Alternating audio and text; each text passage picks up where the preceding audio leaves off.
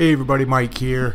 That's right, today we're pouring short-handed. I had a guy call in sick.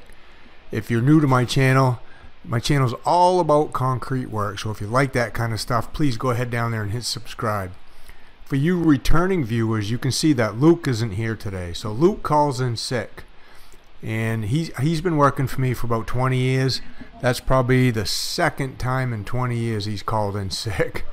So I mean, Luke and Darin, they never call in sick. It's got to, so he must have been really, really bad if he had to call in sick and miss miss a day of work. So that's me and Darin there. Darin's in the blue. I'm in the green. We're working right down by the guy that did the foundation. So the guy that did the, the concrete walls here is in the white. His name's Jim. He does foundations. And the and the guy in the hat is Harvey. And they both live right down here in this area. So Jim decided just to show up and help out, and he calls Harvey to come and help. Now, Harvey works for himself too. He's self employed, but he's done concrete his whole life too, so he knows what he's doing. So they both decided to show up and help us get the floor poured, which was a big, big bonus for me and Darin. Made our lives a lot easier this morning. Now we're using the Tremie chute to get this thing poured for the first part of this. This is a one truck floor. So it took about 10 yards to do this floor. It's 32 by 24, 4 inches thick. As you can see, it's got a vapor barrier under it. Um, it's got the fiber mesh in it. It's got 3,500 psi. So it's a good mix, good floor mix. We don't need uh, wire mesh in here. We don't need any rebar in here. It's got a really good uh, crushed stone base that was compacted really well.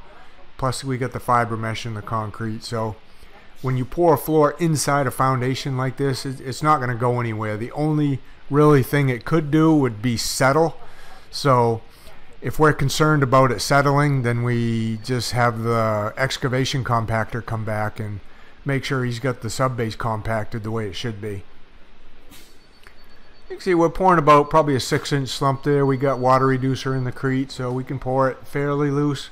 I'm shooting a pad there with the laser getting our center grades to where they need to be while Jim's over there magging the edges to a chalk line we got snapped around there, getting those where they need to be. We'll get, you know, two thirds of this truck dumped out and then we'll move him off to the side so we can finish out and jump out the door. There's a door over here to the right in the foundation. We can we can just get out there right there.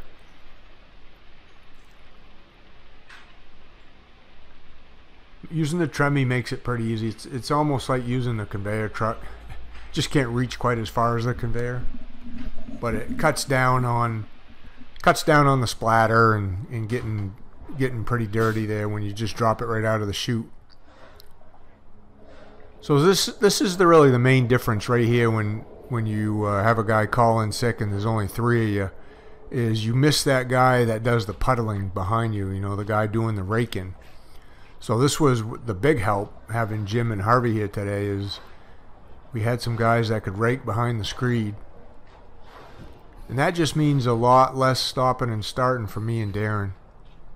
There was a year, I can't remember how long ago it was, it was, over 10 years ago when it was just me and Darin all year long, just the two of us pouring these floors every single day. And we did it. I mean, it was a lot of work, but we did it.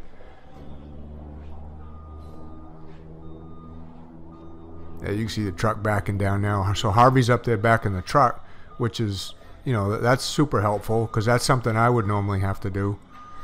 And instead of me being up there, I can just get this, some of the screeding done. We decided just to hand screed this today. No, uh, no power screed, no vibra screed. We had it in the truck, but because of the size of this one, it wasn't that big. We just decided to do it by hand today. This is how I was taught when I was, oh, it was 1981, so I was about 15, 16 years old. This is this is the way I was taught to screed right here. My very first, my very first introduction to screeding was kick screeding, just like this, and here I am, 40 years later, still doing the same thing. It's really it's really pretty easy once you learn how to do it. It isn't really that hard. The key is just having somebody behind you that can rake the concrete.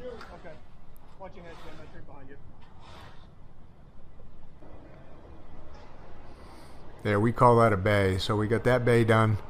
We'll get some of it both loaded, and then we'll get that other bay up there. And the truck, we'll probably give the what's left on the concrete truck maybe a couple gallons of water. He was pretty hot when he showed up. This was about an hour's drive for him. So by the time he shows up, it's the you know the concrete's starting to warm up inside the drum a little bit.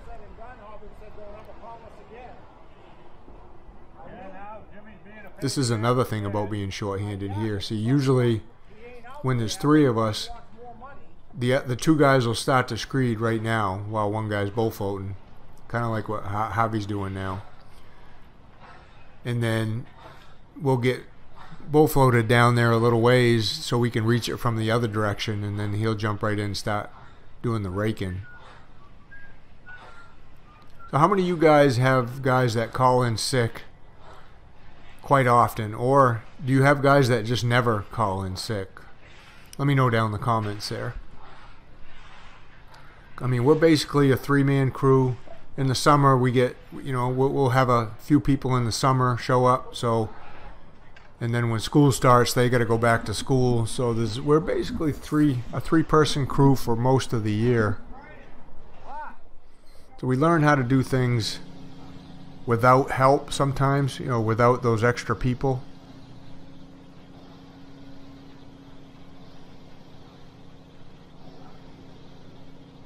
Yeah, you can see Harvey and Jim raking there. They know what they're doing. They've been doing this for years too. Both of them for a long time.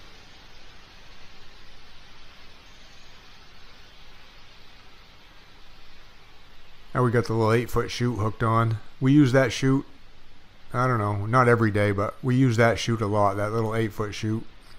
That was a 16 foot chute at once, and we ended up cutting it in half, so we got two of those 8 foot chutes, and we still have a 12 footer and a 16 footer. We, Because we shoot a lot here in Maine where we're from over the walls like this.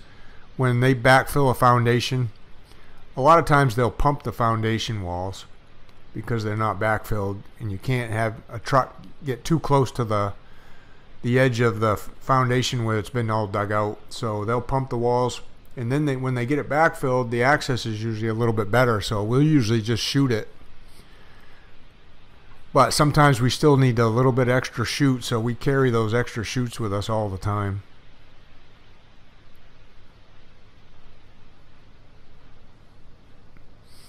That's a floor drain. Darin's going around over there on the right, that little green thing. So we'll slope a little bit of the floor right to that floor drain.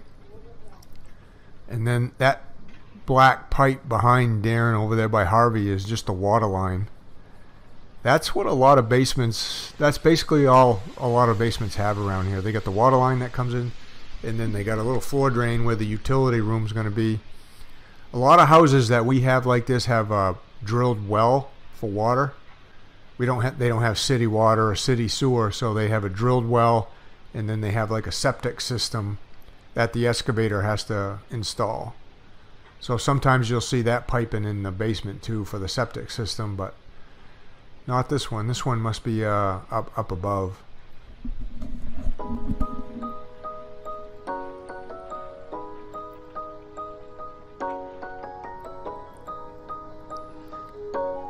So now we'll get that screeded you can see that's how Darin and I usually screed right there with no puddlers. We can do it, just takes a little slower.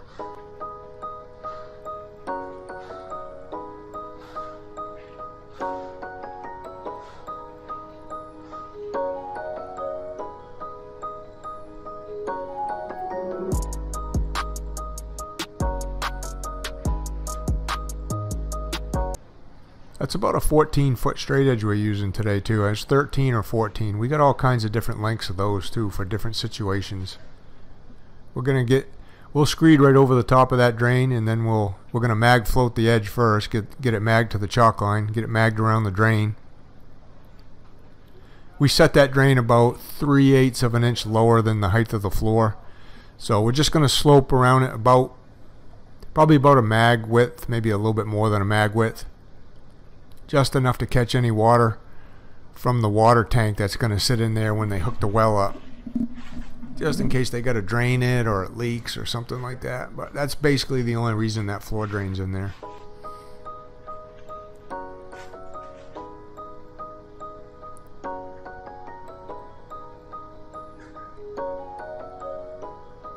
Now Darin's going to stay in power trowel this today by himself. That's not on this video, but we'll just leave one guy here usually. Even if there was everybody showed up, we'll just leave one guy to power trowel on something like this.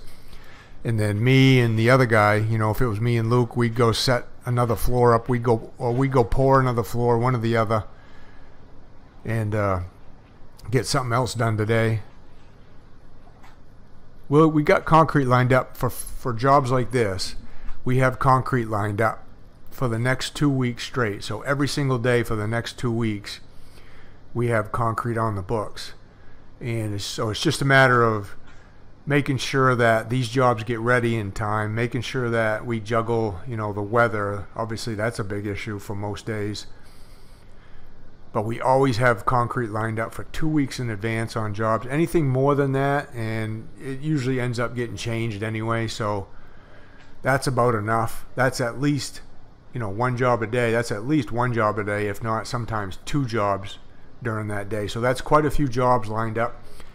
And honestly, I'll be honest with you, my schedule changes very, very often, you know, due to someone, usually someone else, the excavator not getting something ready, the plumber not showing up, uh, the plumbing not being inspected, uh, something, you know, it's always something, it seems like we're changing, juggling schedules, but at least we got the concrete lined up and ready to go. So that's kind of partially how the scheduling works when we do stuff. We plan on being on a job like this for just, you know, one day basically. Here to pour, here to finish, and then that's done. Then we move on to the next one. So at any point, at any given time, I'll have 40 or 50 jobs on the list.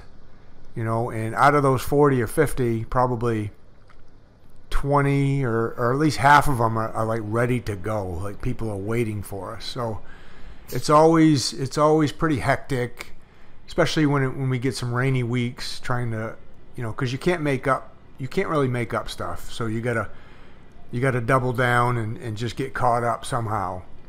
But that's usually how the scheduling goes on these jobs. And if we can if it's good weather we can usually keep up with most people because we do a lot of floors for foundation guys like this. A lot of the foundation guys around here don't like to do their own floors, so they that's why they hire us. So it's a pretty good business around here to be in the floor business. Um, unlike what some people think, they don't think this is a business from what I've seen in some of the comments, but it is. It's a big business, and if you know how to do it right, it can be a really, really good business. So again, guys, I want to thank you guys for watching. Come on back uh, if you haven't hit subscribe, go ahead down there and hit subscribe. We'll see you on the next one.